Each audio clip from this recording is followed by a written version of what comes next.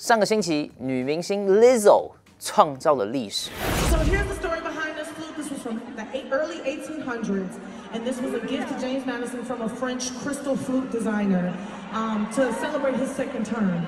There was a fire when he was away, and the only two things that were saved was a portrait of George Washington and this crystal flute right here.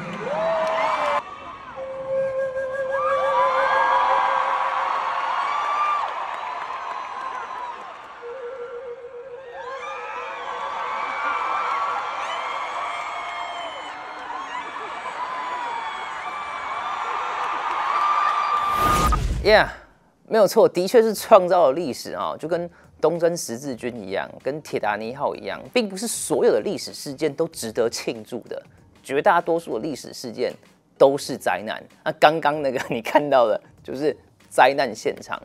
我不太知道 Lizzo 是谁，事实上就是我不太知道现在所有的明星。你可以问我太太，我到现在都还在留在这个邦乔飞那个年代，Bon Jovi。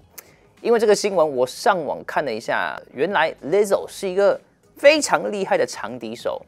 但是这个歌手吗？不应该有这个特权来去弹奏麦迪逊的水晶长笛。第一个，Lizzo 不是一个有尊严、体面的人，他可以是个很有尊严，然后很体面的人来吹这个美国重要的历史文物，但是他选择穿成那个样子，做出那个样子的动作，在那边摇屁股。来贬低我们的建国国父。那第二个，这一整段闹剧的目的，只是为了来打压或者是嘲笑麦迪逊跟美国所有的建国国父以及美国的历史的本质。纽约时报上面是这样说的：这是一个象征性的时刻。当 Lizzo 吹了麦迪逊的水晶长笛，这代表了一个高人气的女性音乐家、饶舌歌手弹奏了一个。曾经在维吉尼亚州，整个家都是建筑在黑奴制度上面的无价之宝，而且拿这个笛子给他的人还是美国国会图书馆的馆长。简单的说，就是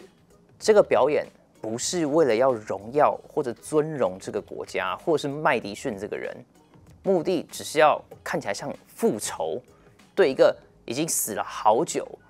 该死的白人至上的人，以及他代表的国家的复仇，这个表演代表着一个解放，一个自认为长期被打压的受害者复仇成功。当然，Lizzo 这个女的很明显的没有被打压，她之前还去领奖了，然后现在还可以吹这个长笛。